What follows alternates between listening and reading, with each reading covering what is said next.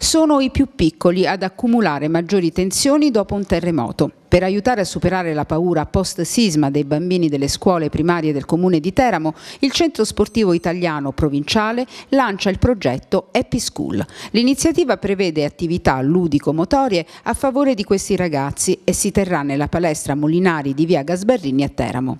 Infatti, dopo il sisma del 2009 dell'Aquila, alcuni importanti studi di neuropsichiatria infantile stabilirono che in una situazione post-emergenziale l'attività motoria e sportiva rappresenta uno degli strumenti più efficaci per allentare le tensioni nei bambini. Il CSI ha già un'esperienza legata al post-sisma aquilano, eh, dove ha seguito diciamo, nei giorni a seguire il sisma ehm, l'attività ludico e motoria per eh, oltre 4.000 ragazzi ragazzi abbiamo acquisito la consapevolezza che proprio da studi di neuropsichiatria infantile eh, il gioco e le attività ludiche e motorie eh, sono un elemento importantissimo per eh, far distogliere l'attenzione dei ragazzi rispetto alla, alle tensioni accumulate a causa del sisma.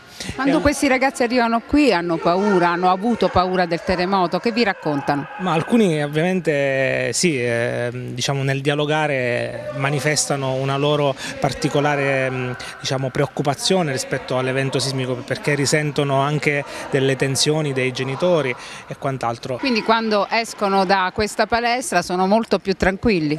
Ma eh, diciamo che il nostro obiettivo è quello, è quello di fargli passare delle ore eh, di serenità, di gioia, i nostri operatori eh, diciamo, ce la mettono tutta per, per arrivare a questo obiettivo. Le attività ludico-motorie messe in campo dal CSI di Teramo a favore dei bambini delle scuole primarie del comune di Teramo prevedono un numero massimo di 40 iscritti. Saranno gratuite, gestite da operatori esperti e si protrarranno fino alla riapertura delle scuole.